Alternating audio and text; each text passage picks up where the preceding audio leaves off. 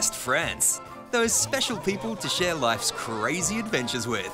You laugh together, play together, the mates to stop us from getting into trouble, or who sometimes get you into it.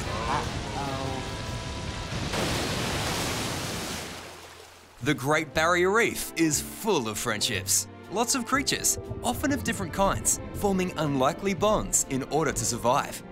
One of these classic friendships beneath the waves can be seen in the many types of fish who choose to hang out together by forming schools, often looking like a well synchronized dance as they swim together, elegantly and effortlessly. Oh, follow the leader. Sticking with such a big group of pals has its benefits. There's a greater defense from predators, higher success rate when foraging for food, and a greater chance to find a mate.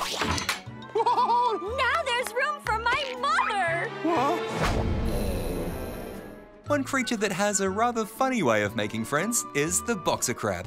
As a form of defense, this mighty crab will pick up a small tuft of sea anemones and take full advantage of its stinging tentacles by using them to warn away any would-be opponents who would consider him lunch.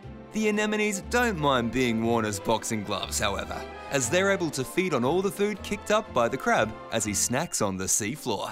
It's a symbiotic friendship where both creatures benefit from the arrangement. There? Now we can be together forever. Another unlikely friendship is that of the goby fish and pistol shrimp. These two different species have a very beneficial arrangement.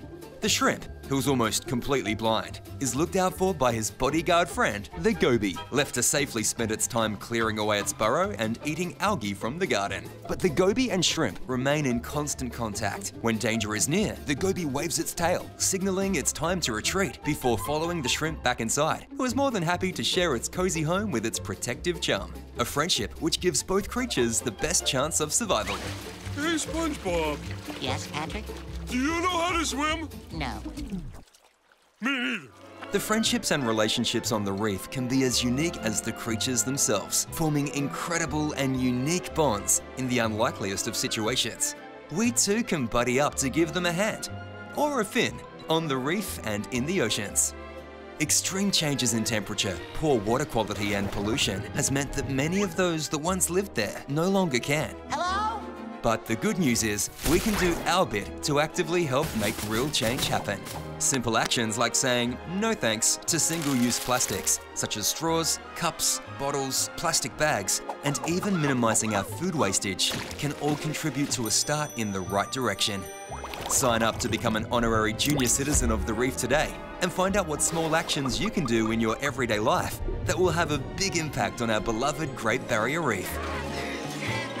Once you've enlisted, be sure to spread that word. That way, we can all work together to ensure a brighter future for the reef and help these guys stay BFFs forever.